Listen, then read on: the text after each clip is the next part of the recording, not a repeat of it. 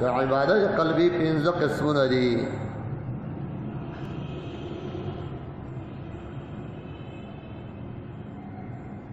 د زړه عبادت چې دی دا نمبر 1 محبت دا الله سره مینا ساتل دا د زړه عبادت ته يحبونهم كحب الله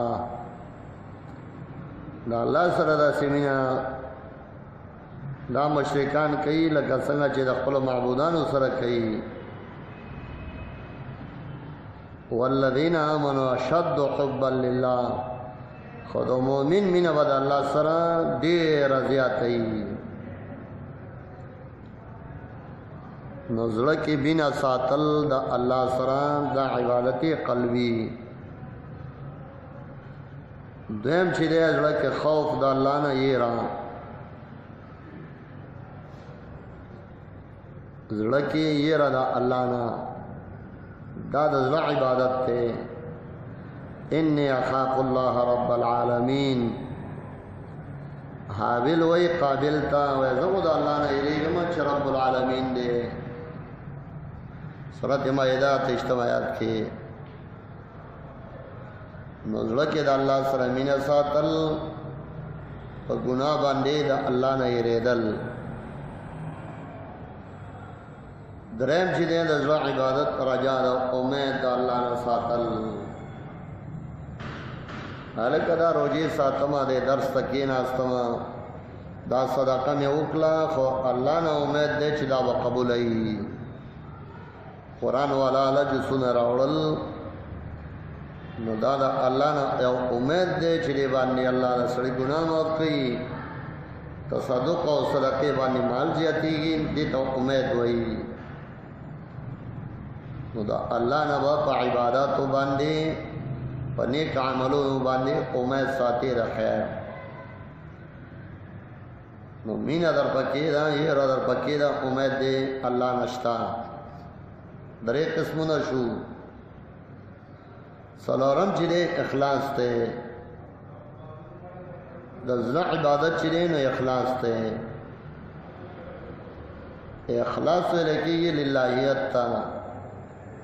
زړه کې دا جذبه ساتل چې دا کار صرف د الله لپاره کوم مخلوق لاله خوش آمند کوي او کنه کوي شرع ته وي کو بدر ته وي خو یو عالم نه مې اورېدلی دی چې دا خیر کار دی زئی کوما او دا الله د رضا په جذبه باندې کوم د مخلوق په تمه توقع باندې نه کومه دې ته اخلاص وایي دا د زړه عبادت ته زړه کې بلې د الله د رضا او جذبه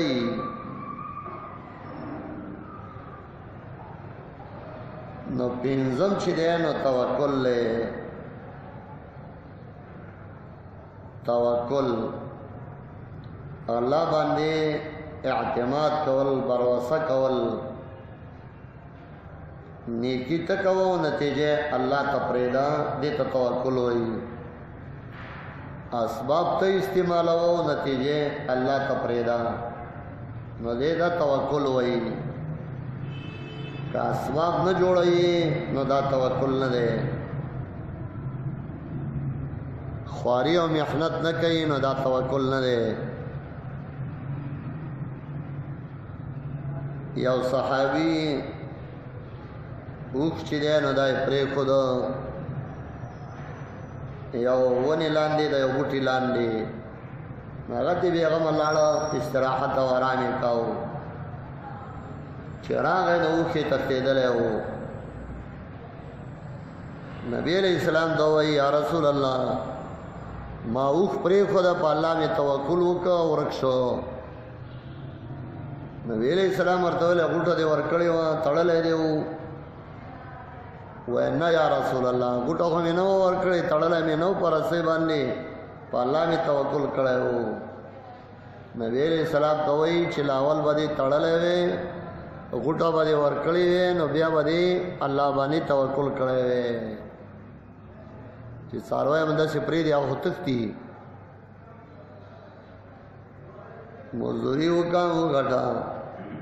اور اورډه چې بخا کا وای خورا نو بیا توکل په الله باندې کو چې الله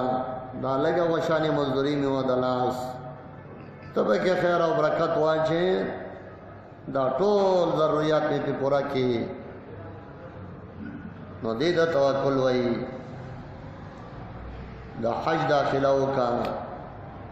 زاد او راحله ځان سره واخلا او بیا په الله باندې توکل وکړه چې وځوسوا حج ګران شه دې الله به را باندې کوي څه کسان حج تلاړ ځان سره زاد او راحله تو کا ور سره نه و نو چا به ته پوز وکاو څنګه راغلی وې څه خورا سره نشته دي سوالونه به کول ابن مسعود رضی الله عنه په لمن کې کانی راجم کړو او پرې سر سر باندې وښتل ټوله وشړل وې د نبی له سلام زمانہ ډېر نه دې تیر شوی دا تاسو متوکلین نه یاست متاکلین یاست خلکو نه خوراکونه کوي زه ورک شئ توکل دا و چې ځان سره هم سفر خرچه راخستې خوراکونه هم برابر کړی دي نو بیا هم توکل کوله نو الله باندې توکل دې توي چې اسباب برابر کا نتیجه الله ته وسپاره نو دې یا پنځه قسمونو ته عبادت قلبي وایي عبادت قلبی کې خضوع ده خشوع ده تضرع ده نو دا ټول دې تراجی